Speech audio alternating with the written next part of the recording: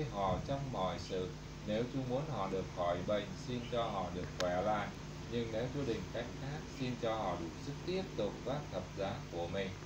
Con cũng cầu xin Chúa cho chúng con là những kẻ hiện đang cầu thay quyền giúp cho họ. Xin hãy thanh tẩy tâm hồn chúng con để chúng con xứng đáng cho chúng ban và thương xót thánh thiện của Chúa qua chúng con cho họ. Xin Chúa che chở và giảm bớt các đau đớn của họ. Ước gì những Chúa được thể hiện nơi họ. Nguyện thánh danh Chúa qua họ được mọi người nhận biết. Xin Chúa hộ phù để họ can đảm vác thập giá của mình. Amen.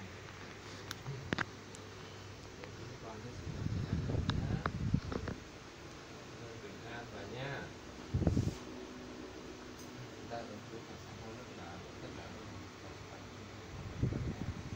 con mình và quan trọng là Chúa đặt mình vậy nha những con khao khát thì đến con không giờ đơn tử để có thể che chở bởi quyền năng và sự hiện diện của Chúa con được hưởng mãi. thập giá Giêsu Kitô ánh thánh thánh Benedicto, bình an, nguyện xin thánh giá là ánh sáng cho đời con. Xin đừng để con bị ma quỷ điều khiển. Bởi sa tan hay phút đi. Đừng hòng cắn chúng ta bằng sự giả trá của mi. Mọi điều mi mang đến toàn là xấu xa, ô uế, cũng giảm tính lòng động của ngươi Amen. Chúa nhé, chúng con sáng người tự bà nhé, rồi xin thấm nhé.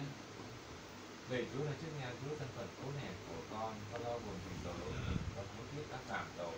Xin Chúa chủ lòng tha thứ cho con. Nhân danh Đức Giêsu, con sẵn sàng tha thứ cho kẻ xúc phạm đến con. Con xin từ bỏ sa tan, từ bỏ ma quỷ và các hành vi của nó. Con xin trao hiến mình con cho Chúa. Ôi Chúa Giêsu, con mời Chúa anh bước vào cuộc sống con. Ôi Chúa Giêsu, con xin tiếp nhận Ngài là Đức Chúa của con, làm Thiên Chúa con, làm đấng cứu độ con. Xin Ngài chữa lành con, biến đổi con, ban sức mạnh cho con luôn cả hồn xác tâm thần. Lạy Chúa Giêsu, xin Ngài hãy đến, lấy máu thánh quý trọng của Ngài tắm gội thân con, hãy đổ tràn trên con thánh thần của Chúa. Ôi Chúa Giêsu, con yêu mến Ngài.